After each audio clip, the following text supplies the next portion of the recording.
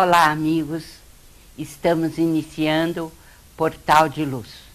Nosso encontro de todas as semanas. E é sempre uma alegria estar na companhia de todos vocês. Este é um instante especial. Vamos orar. Aproveitemos essas vibrações suaves, espiritualizadas de Chico Xavier e de sua mensagem neste dia. Vamos orar.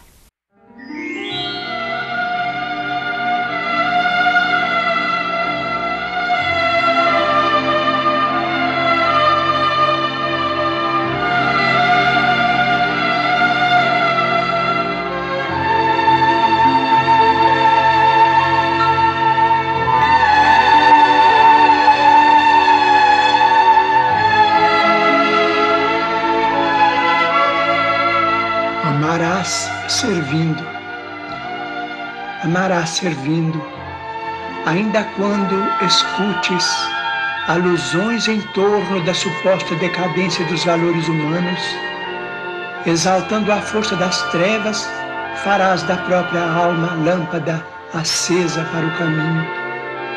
Mesmo quando a ambição e o orgulho te golpeiem de suspeitas e de rancores, o espírito desprevenido amarás, servindo sempre. Quando alguém te aponte os males do mundo, lembrar-te-ás dos que te suportaram as fraquezas da infância, dos que te auxiliaram a pronunciar a primeira oração, dos que te encorajaram os ideais de bondade no nascedouro e daqueles outros que partiram da terra abençoando-te o nome depois de repetidos exemplos de sacrifício para que pudesses livremente viver. Recordarás os benfeitores anônimos que te deram entendimento e esperança, prosseguindo fiel ao apostolado de amor e serviço que te legaram. Para isso, não te deterás na superfície das palavras. Colocar-te-ás na posição dos que sofrem a fim de que faças por eles tudo aquilo que desejarias se te fizesse nas mesmas circunstâncias. Ante as vítimas da penúria, imagina o que seria de ti nos refúgios de ninguém, sob a ventania da noite, carregando o corpo exausto e dolorido, a que o pão mendigado não forneceu suficiente alimentação. Renteando com os doentes desamparados, reflete Quanto te doeria o abandono sob o guante da enfermidade, sem a presença sequer de um amigo para minorar-te o peso da angústia?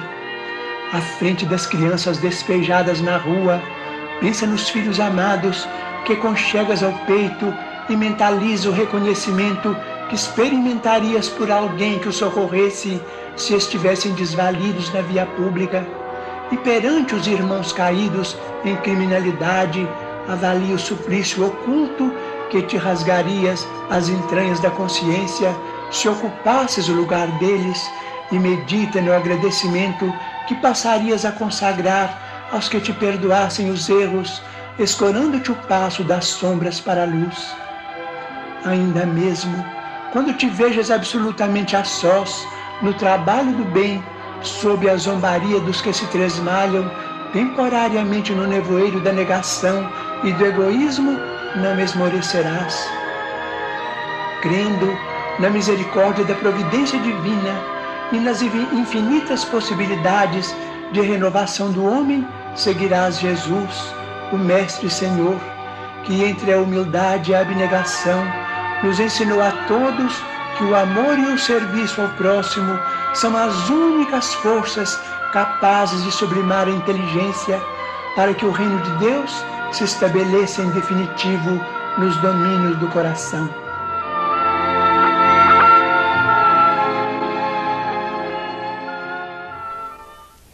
Meus amigos, a Folha Espírita de julho de 2014 trouxe uma entrevista do Dr. Caio Ramaciotti, médico e diretor do Grupo Espírita Emmanuel de São Bernardo do Campo, que falou a jornalista Giovana Campos, da Folha Espírita, sobre o romance de sua autoria, Inês e Pedro. Certamente você já ouviu falar da paixão desses dois jovens portugueses em plena Idade Média. Pelo menos para os da minha geração, em algum lugar a gente já ouviu. Agora é tarde, Inês é morta, nada mais podemos fazer. Pois é, o romance aborda uma história de amor que ficou famosa através dos séculos. A história de Inês e sua paixão pelo príncipe português Dom Pedro I. Evidentemente, não se trata do nosso Dom Pedro I aqui do Brasil, porque a história da vida que eles tiveram em comum se passa de abril de 1346 ao início de 1355. Dr. Caio Ramaciotti afirma na entrevista que, na essência, Inês e Pedro complementa o livro Mensagens de Inês de Castro, lançado em 2006 pelo GEM, ou pelo Grupo Espírita Emmanuel Editora, de São Bernardo de Campo. Nós já tivemos oportunidade de comentar este livro também, lançado pelo GEM, pela editora Emmanuel. São cartas de Inês de Castro que o Dr. Caio recebeu no ano de 1977 das mãos iluminadas de Chico Xavier. Já o romance, agora editado, Inês e Pedro, é o lado de dentro de mensagens de Inês de Castro. Relata um pouco da convivência dos dois amantes. Mas o que haveria no conteúdo de um e de outro livro? O Dr. Caio esclarece se o primeiro livro, Mensagens de Inês de Castro, trouxe as belíssimas cartas da mártir medieval com moldura histórica de minha autoria, o novo romance mostra um pouco da vida em comum nos seus dez anos felizes de Inês de Castro e o príncipe herdeiro Dom Pedro em Portugal nos meados do século XIV. Podemos sentir as apreensões de Inês após o seu intrigante sonho premonitório, o comportamento do infante, insistindo em não valorizar as preocupações da companheira, e a rígida postura do rei Afonso IV além da convivência, é claro, com os filhinhos queridos que o casal teve. Um fato a destacar é a participação de Isabel de Aragão, a Rainha Santa, esposa de Dom Diniz, sempre muito próxima a Inês e ao seu neto, Dom Pedro. Um fato muito interessante a ser destacado foi a forma como o Dr. Caio tomou conhecimento dos bastidores dessa história medieval que atravessou os tempos.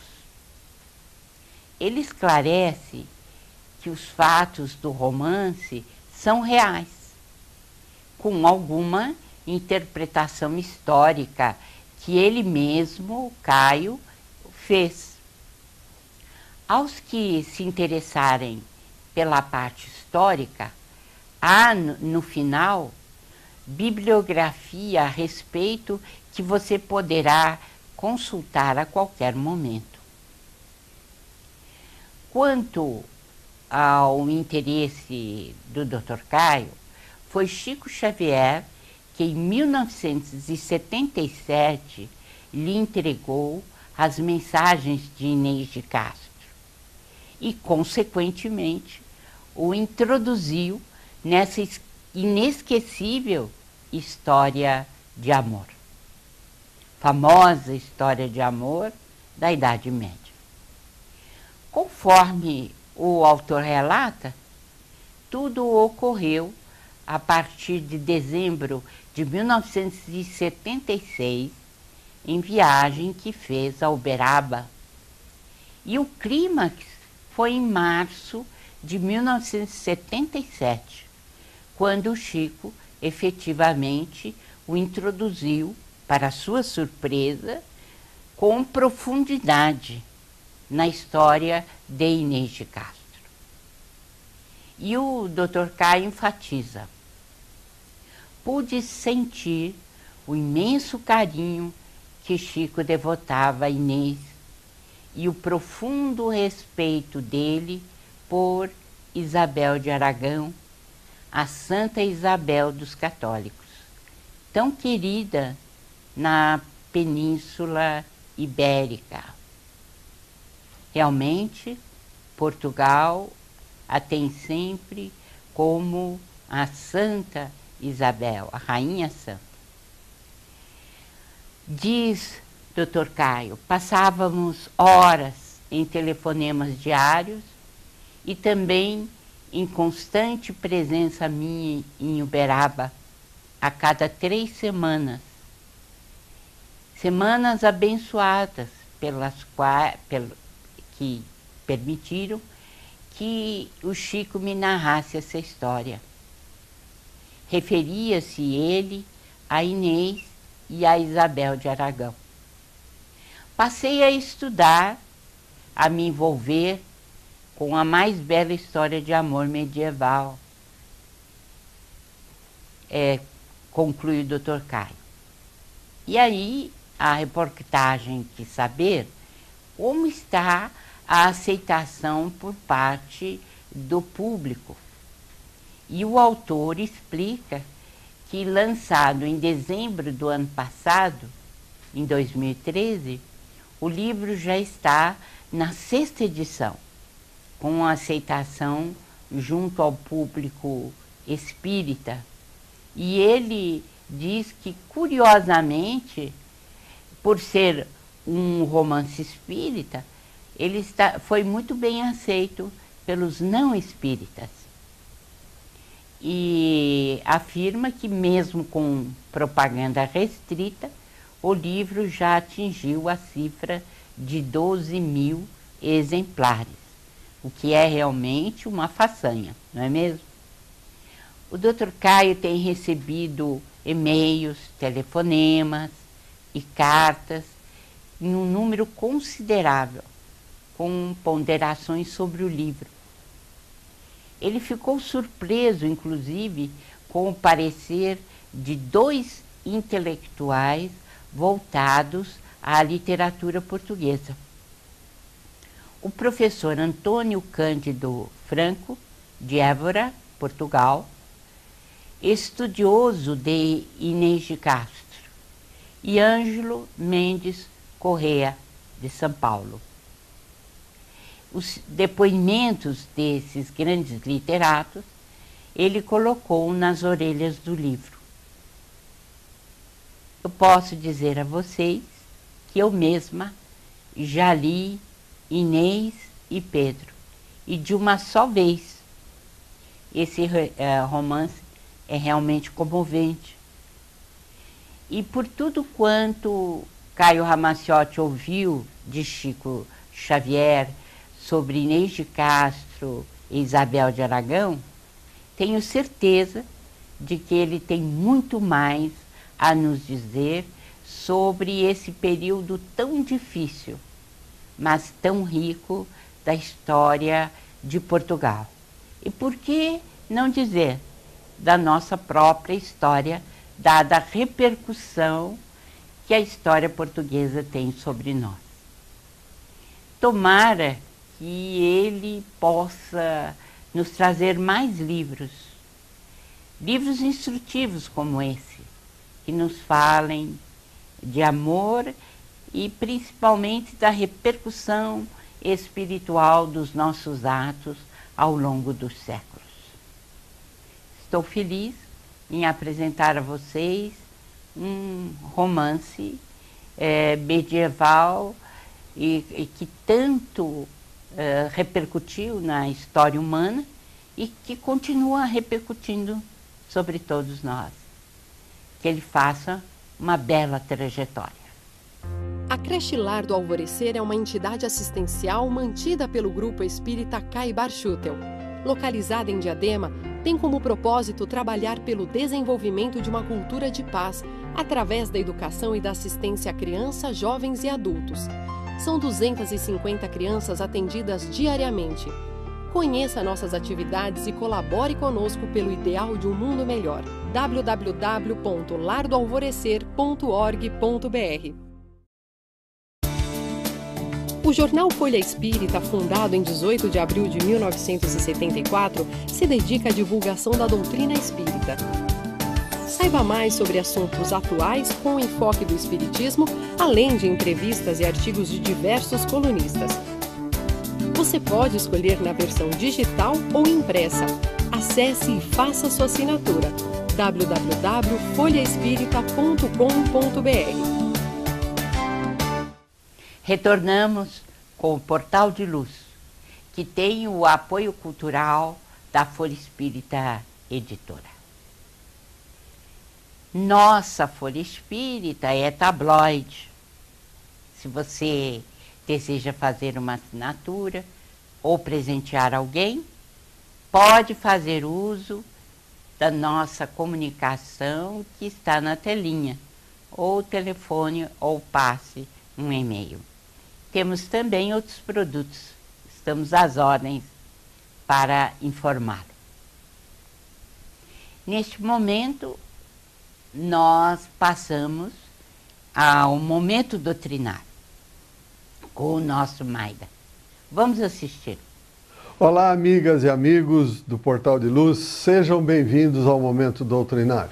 Vamos a mais um encontro onde vamos refletir a respeito das orientações trazidas pelo espírito Sheila, através da psicografia de Chico Xavier, que está na lição 27 do livro Ideal Espírita. Diz Sheila: existem dez sinais vermelhos no caminho da experiência, ou seja, da existência terrena, indicando queda provável na obsessão. Primeiro, quando entramos na faixa da impaciência. Segundo, quando acreditamos que a nossa dor é a maior dor. Terceiro, quando passamos a ver ingratidão nos amigos. Quarto sinal vermelho, quando imaginamos maldade nas atitudes dos companheiros. Quinto, quando comentamos o lado menos feliz dessa ou daquela pessoa. Sexto, quando reclamamos apreço e reconhecimento. Sétimo, quando supomos que o nosso trabalho está sendo excessivo. Oitavo, quando passamos o dia a exigir esforço sem prestar o mais leve serviço. Nono sinal, quando pretendemos fugir de nós mesmos através da gota de álcool ou da pitada de entorpecente. E décimo, quando julgamos que o dever é apenas dos outros Toda vez que um desses sinais venha surgir no trânsito de nossas ideias, a lei divina está sempre presente, recomendando-nos a prudência de parar e buscar o socorro da prece ou na luz do discernimento. Emmanuel, no livro Pão Nosso, lição 51, complementa a sugestão de Sheila dizendo: consagra-te à própria cura mas não esqueças a pregação do reino divino aos teus próprios órgãos do teu corpo físico. Eles são vivos e educáveis, sem que teu pensamento se purifique e sem que a tua vontade comande o barco do organismo para o bem, a intervenção dos remédios humanos não passará de medida em trânsito para a inutilidade. Refletamos sobre isso. Obrigado pela companhia, saúde e paz e até o próximo encontro. Nossa Sandra Marinho comparece agora com Educa Tua Alma. Vamos assisti-la. Olá, queridos amigos e amigas. Lembrando, o objetivo do nosso programa é tratar de assuntos afetos ao nosso comportamento, da forma com a qual nos relacionamos conosco mesmos e com as outras pessoas. Só para lembrar. Identificando os hábitos que devemos mudar ou bani-los de vez para termos uma vida melhor, que inclui a saúde do corpo e da alma. Uma vida mais plena, de harmonia e paz, enfim. Estamos certos de que a educação da nossa alma encontra suas bases nos ensinamentos de Jesus. Assim, eu não poderia deixar de trazer à baila um tema que me incomodou muito, ocorrido nos últimos dias de decisão dos Jogos do Mundial da Copa do Mundo. Tudo bem que a atitude do jogador responsável pelo machucado no craque Neymar está longe da nossa aprovação, mesmo considerando que o futebol é um esporte nada delicado e que os atletas se trombam o tempo todo. Mas me entristeceu ler mensagens no Facebook com xingamentos, humilhações e todo tipo de praga contra o jogador colombiano. O ápice da minha indignação ocorreu quando tive o desprazer de ler outras publicações na internet, inclusive nas redes sociais, ricas em ofensas de todo tipo contra a equipe da seleção brasileira depois da derrota que sofreu no jogo contra a Alemanha nas semifinais. Sem falar da vaia e xingamento da torcida no estádio, principalmente contra determinado jogador. Nós já tivemos oportunidade de falar aqui sobre a necessidade do perdão e da indulgência como condição imprescindível para a nossa melhora íntima. E a ira, a irra irracibilidade de tão grande número de, de pessoas demonstradas em tão poucos dias realmente merece a nossa reflexão. Nos intitulamos um país cristão. De boca cheia, repetimos e ouvimos se repetir a frase de que Deus é brasileiro e nos comportamos desta forma, com tanta crueldade de julgamento? Já pararam para pensar como nos sentimos nos momentos que se sucederam à derrota da seleção brasileira? Como estávamos no dia seguinte? O que observamos nas rodas de conversa, onde tantos impropérios eram transmitidos livremente, principalmente na rede da internet, nos sentimos bem? Estávamos em paz? Ao contrário, foi uma onda de negatividade sem fim que se espalhou por toda parte. Os mais translocados deram vazão a toda espécie de negatividade e foram protagonistas de atos bárbaros, ainda bem que isolados, né? Fora o que não nos chegou ao conhecimento. Pois é, Infelizmente, no quesito compaixão, indulgência, a nossa nota é praticamente zero. Por esta razão, gostaria de lembrar a lição de Jesus: bem-aventurados aqueles que são misericordiosos. No Evangelho segundo o Espiritismo, encontramos as sábias palavras do Espírito protetor José, quando diz que a indulgência não vê os defeitos de outrem, ou se vê, evita falar deles divulgá-los. Ao contrário, oculta-os, a fim de que não sejam conhecidos senão da própria pessoa. A indulgência não faz observações chocantes, não tem censura nos lábios, mas somente conselhos. O benfeitor ainda nos alerta: quando criticais, Que consequência se deve tirar de vossas palavras? Resposta: Que vós não teríeis feito o que reprovais e valeis mais do que o culpado. Pensando sobre estas palavras, pergunto: quem de nós é suficientemente perfeito que, nas mesmas condições enfrentadas pela equipe de esportistas, vilipendiada, estaria livre, completamente livre de ter cometido os erros dos quais tanto se falou? O mentor também nos aconselha: sede indulgentes, meus amigos, porque a indulgência atrai, acalma, reergue, ao passo que o rigor desencoraja, afasta e irrita. Por outro lado, os brasileiros, de modo geral, também foram elogiados pelos irmãos estrangeiros pela hospitalidade e amabilidade. Fomos considerados um povo alegre e espontâneo. Por esta razão, eu espero do fundo do coração que também saibamos a ser amáveis e ter boa vontade com os nossos conterrâneos. A nossa pátria precisa de seus filhos unidos e vivendo em paz. E isto passa com certeza pela indulgência que devemos ter uns com os outros. Era isso que eu queria falar. Até. Chegamos ao final do nosso portal de luz de hoje. Passou rápido, não é mesmo? Um grande abraço a todos e até a próxima semana.